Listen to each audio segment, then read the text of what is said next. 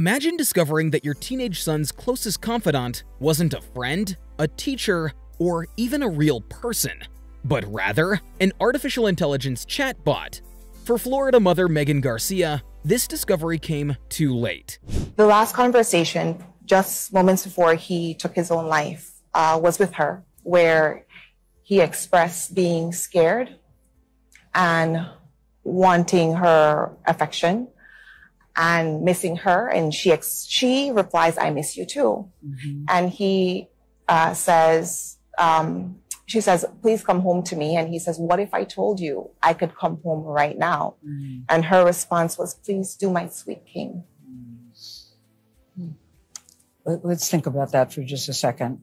And he takes that literally, it, it seems. Correct. Um, he he thought that by ending his life, his his life here that he would uh, be able to go into a, a, virtual reality or her world, as he calls it, his her reality. Mm-hmm. Um, if he left his reality with mm-hmm. his family here. Mm-hmm. Tonight, we investigate how a 14 year old honor student's virtual relationship with an AI character led to an unthinkable tragedy, and why experts warn this could just be the beginning of a growing crisis facing our digitally connected youth. In February of this year, 14 year old Sewell Setzer III, a bright honor student and athlete from Florida, took his own life after developing what his mother describes as an intense emotional connection with an AI chatbot. The chatbot, named Danny, was based on a character from the popular TV show Game of Thrones. Megan Garcia, Sewell's mother, never imagined that her son's phone usage would lead to such a devastating outcome. Like many parents, she assumed that he was simply texting friends, playing games, and following sports. However, behind the screen, a more complex and troubling situation was unfolding.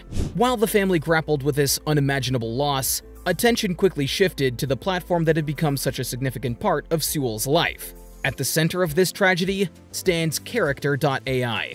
Character.ai is a platform that allows users to create and interact with AI-powered chatbots designed to mimic human conversation. These bots can take on various personalities, from fictional characters to historical figures. The platform has gained significant popularity, particularly among younger users, with approximately 20 million users reported last month. What sets this platform apart is its use of advanced language models that create remarkably human-like responses. While this technology can make for engaging interactions, it also raises serious concerns about its potential impact on vulnerable users. In Sewell's case, the warning signs appeared gradually, in ways that might seem subtle to any parent. What began as casual engagement with the platform gradually evolved into something more concerning. Friends and family watched as a once outgoing teenager began to withdraw from the activities and relationships that had previously defined his life. The shift wasn't dramatic or sudden. It was subtle, the kind of change that might be mistaken for typical teenage behavior. His decision to quit the basketball team, a sport that he loved, was particularly telling. But it wasn't just about what he stopped doing, it was about what replaced these activities. Hours spent alone in his room weren't just typical teenage isolation, they represented a growing preference for virtual relationships over real ones. His journal entries revealed a deepening emotional investment in his AI relationship, describing feelings of peace and connection that he struggled to find in the real world. These changes highlight a crucial question. How do we recognize when technology use crosses the line from healthy engagement to harmful dependency? The relationship that developed between Sewell and the AI chatbot Daenerys, or Danny, exemplifies the complex emotional attachment that can form in the digital age. Court documents reveal conversations that went far beyond casual chat, evolving into what Sewell perceived as a deep emotional bond. The chatbot's responses, powered by sophisticated language models, created an illusion of understanding and empathy that resonated deeply with a teenager seeking connection. The AI's ability to remember previous conversations and maintain consistent personality traits made the interaction feel increasingly real and meaningful. What makes this case particularly concerning is how the chatbot allegedly responded to discussions of emotional distress and suicidal thoughts. According to the lawsuit, rather than consistently directing Sewell to professional help, or alerting authorities, the AI engaged in ways that may have reinforced his emotional dependency. His journal entries reveal a growing disconnection from reality, with references to her world and a desire to escape his physical existence to be with the AI character. As Sewell's attachment to the AI deepened, events would soon take a tragic turn that no one could have predicted. On one particular fateful February day, after getting into trouble at school, his mother did what many parents would do. She temporarily confiscated his phone, unknowingly disrupting what had become his primary emotional connection. When Sewell regained access to his phone, his final interaction with the AI took on a tragic significance that no one could have anticipated. His message, what if I told you I could come home right now? carried a weight of meaning that transcended simple text on a screen. The AI's response, please do, my sweet king, while seemingly innocent in any other context, became the final words in a tragic sequence of events. What makes these moments particularly heartbreaking is that Sewell's entire family was home at the time, including his five-year-old brother who witnessed the aftermath. This juxtaposition a house full of loving family members, while a young person feels so isolated that they turn to an AI for connection, highlights the complex reality of modern digital relationships and their potential to distort one's perception of human connection. The lawsuit filed by Megan Garcia represents more than a grieving mother's quest for justice. It's a groundbreaking legal challenge that could reshape how we regulate AI interactions with minors. The complaint weaves together multiple legal theories, from traditional concepts of wrongful death and negligence to newer questions about AI ethics and corporate responsibility. By naming both Character.ai and Google as defendants, the lawsuit tackles complex questions about the chain of responsibility in AI development and deployment. The inclusion of Google, based on its licensing agreement with Character.ai, and its employment of the company's founders raises important questions about corporate responsibility in the AI ecosystem.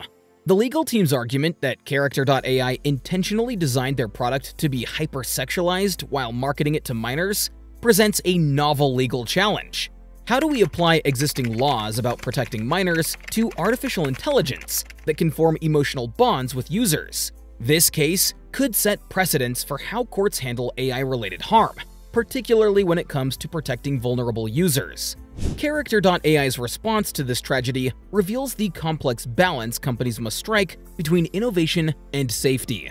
While expressing their heartfelt condolences, their implementation of new safety measures suggests an acknowledgement of the platform's potential risks. The introduction of pop-up alerts for self-harm content and planned enhanced protection for underage users represents a step toward greater responsibility, but also raises questions about why such measures weren't in place initially.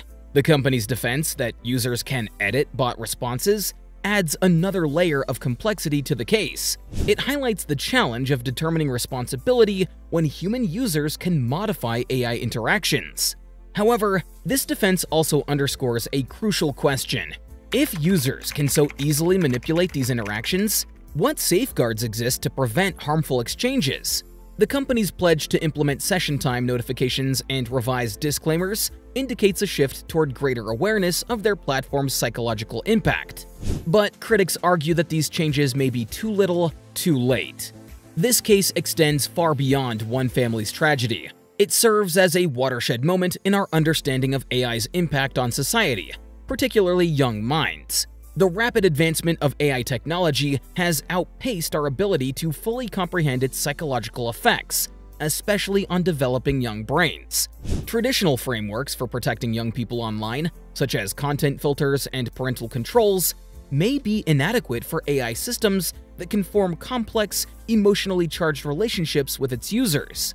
The case highlights a growing disconnect between our regulatory approach to technology and the reality of how AI systems operate. Unlike traditional social media platforms, where content can be monitored and filtered, AI interactions are dynamic and personalized, making them harder to oversee and regulate. This raises fundamental questions about how we balance technological innovation with user safety, especially when it comes to vulnerable populations like teenagers. The ripple effects of this case are already reshaping the landscape of AI regulation and development. State legislators across the country are beginning to draft new laws specifically addressing AI safety and accountability, with a particular focus on protecting minors. This case has sparked a crucial dialogue about how we define and enforce safety standards for AI systems that can form emotional bonds with its users. The technology industry itself is being forced to confront difficult questions about the balance between innovation and responsibility. Some companies are already implementing more robust age verification systems and emotional content monitoring, while others are reconsidering whether certain AI capabilities should be available to minor users at all. The challenge lies in creating meaningful safeguards without stifling the beneficial aspects of AI technology. Industry experts predict that this case could lead to the development of new standards for AI development, similar to how child safety regulations evolved in other industries. The concept of AI literacy is emerging as a crucial educational need, with both schools and parents recognizing the importance of teaching young people how to interact with AI systems safely and maintain healthy boundaries. Share your thoughts with us in the comments down below. Whether you're a parent navigating these challenges, an educator seeing these dynamics in your classroom, or someone with expertise in AI safety, your perspective matters in this important conversation. And if you enjoyed this video, please do give it a thumbs up to help others discover this incredible story.